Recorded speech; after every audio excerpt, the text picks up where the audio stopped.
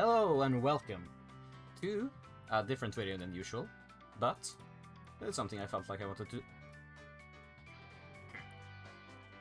Uh, something I wanted to do.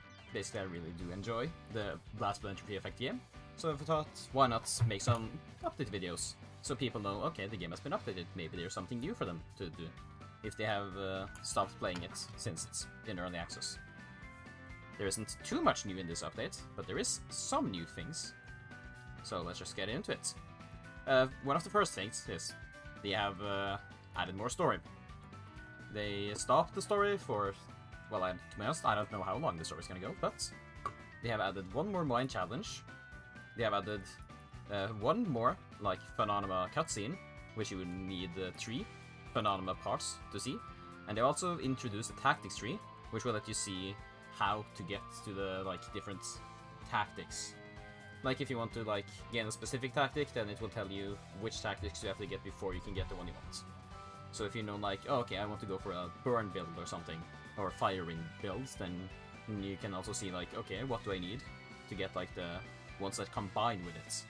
Which is really helpful.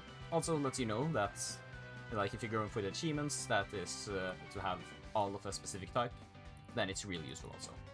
When it comes to the combat, uh, right, this is not characters. Uh, optimized. So basically, this makes it uh, optimize the tactics tab of the character details displayed during combat uh, past. Basically, when you pass and look at your tactics, it will have now be like categorized into basic attack, skill, legacy skill. So you know, like, okay, which of my tactics uh, improve upon what I do. So okay, I have a lot of basic attacks, maybe I should keep going for that or do something else. I increase the summon entities limits of some tactics. I'm not entirely sure which ones they're talking about, but I'm guessing they mean the ones like, maybe they're talking about the summoning stuff, like the slime, the mines, or the Umbra Tentacle, or they might be talking about like the ice spikes or the fire, um, the, like fire spirits. Not entirely sure. Uh, they have renamed a tactic, they also modified the double tactic lightning chain to trigger immediate pulse on lightning hit enemies. Uh, added a visual guide for jumping before the floating mine battle. I am not entirely sure what this means. So that is something somebody in the comments may be able to tell me, because I'm not entirely sure. Like, I'm, it might be like mid-boss battle in like Omega Zone, but I'm not entirely sure. Uh, so no, no uses in ability less often in combat, so just means he won't spam that ability as much.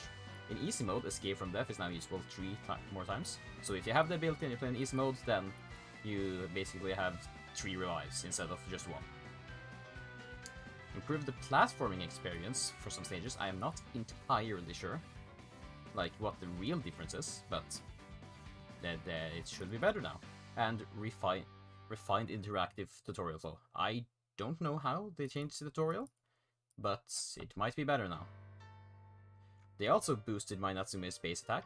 I'm not sure by how much. I kind of wish they said, but now she will be stronger. They also buffed her legacy skill by extending uh, the duration of it, which I'm guessing it also means that you can it deals more damage total.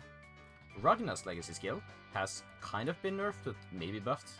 It now absorbs more health, but it deals less damage, so now it's like more safe to use it, so we don't lose as much health, but well, you don't do as much damage, so if you really wanted some damaging legacy skills, then that might not be for you. Uh, and one's legacy skill Shroudfall now prioritizes ranged enemies, so instead of just prioritizing random enemy, if you, there is a ranged enemy on screen, then it probably will target it.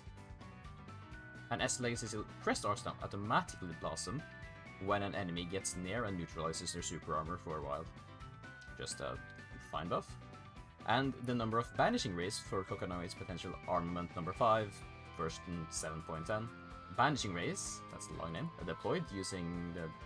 Basically, if you don't, if you just remember how to use the skill, it's that one. There is no longer limited by the number of remaining components. That is something I did not know, but apparently you could only have so have as many of them as there were like components laying on the ground or something. And now that is not the case, which is interesting. Hakumen's block now can deter enemies. Basically means now, uh, well, at least what I'm guessing is that if you play Hakumen and you, like, really try to predict that they're trying to do something before they even try to attack you, then they probably won't attack you. So now you actually have to react to the, the enemy attacking you. And this is definitely the most, or the hugest, change of them all. Independent cooldowns now apply to each character's legacy skill, and the associated effects and strategies have been adjusted accordingly as well. So basically what this means is, when you use a legacy skill before this update, when you use one legacy skill, both of your legacy skills goes on cooldown. With this, if you use only one legacy skill, then only that legacy skill will go on cooldown, which means that you can use both separately. So if you want to have like Ragna's uh, legacy skill to heal, or Hak and Hakumen's legacy skill to like block damage, then you don't have to be careful like, okay, I want to heal now, but if I do, I can't block damage with Hakumen's. Now you can just use Ragna's legacy skill, and then you still have Hakumen's uh, legacy skill for when you need it, which is real big because now you don't have to think about like which legacy skill am I going to use. I'm going to go for the damage with this one. I'm going to go for the utility with that one. Now you can just, okay, I'm going to use for this now because it works now, and then I'll wait to use my other one until when it needs to be used. Uh, so that's really huge. Other than that, other optimization added a feature to recover corrupt save files, which is pretty nice. Not sure how, but I mean, hopefully your uh, save file won't be corrupted at all, but at least they have something to save it. They also renamed samples to enemies. I mean, sure it might have been confusing for like people when they start first started playing, but I mean, you, you get that samples means enemies after a while, that's sure. Uh, improved UI for Steam Deck and other handheld devices, I can't say too much about that since I don't have a Steam Deck, so I don't know how it is improved, but it is improved.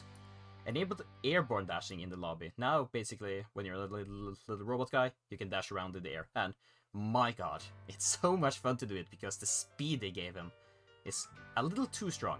Uh, I skipped a cut, or, well, I didn't skip a cutscene. I went so fast that when I hit the cutscene trigger, my character was not besides the character he was supposed to talk to, so I could not see anything that he was saying. So that is something they need to fix, but other than that, it's real fun. And various additional fixes and tweaks. One of those is something I feel was a stupid move, is something they should change in some way.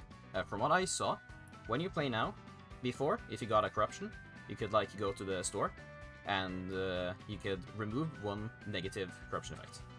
Right, now they have changed it so that instead of removing it entirely, you will uh, it will remove one tick from it. So like normally, if you play on hard mode or if you play on hard mode, then it takes like 10 rooms for it to get removed, and if you play on normal mode, it takes 5 ticks, or 5 rooms. The problem is that if you go to the, um, when you're on the last place, the like roguelike place, the Omega room, the problem there is one like uh, tick from that uh, corruption effect is basically when the bar goes full and you gain more. The problem is that takes a long while, so if you have a corruption effect there, even like reducing it by one, it takes so long to get rid of corruption effects. Like you can't just wait for it, but still, that takes so long and it's so annoying. Like the fact that, like, I can understand that they don't want you to, like, stack positive corruption effects and stuff. But even then, it just... It takes far too long. I really hope that they change the, like, remove one uh, tick from the negative corruption effects to at least, like, reduce one to one tick or reduce one by half or at least something better than just reducing one of the ticks from it. Like in normal mode, sure, probably not that hard, but in hard mode it's just annoying. Like, I had a really bad corruption effect, like exhaustion, uh, when I played the game previously today. And it had like 8 ticks, so I had like, like wait like 10 minutes plus probably, just for it to be gone, because I couldn't get rid of it in any other way. So that was annoying. So that is something I hope to fix. But other than that, uh, pretty nice updates. And uh, I ranted a little bit there, but yeah, that's basically it for its updates. This update at least. So uh, I'll probably inform you when the next update comes out and what that will bring. But anyways, that's it for right now, so thank you all so very much for watching. Hope you're all have a fantastic day, and uh, bye-bye!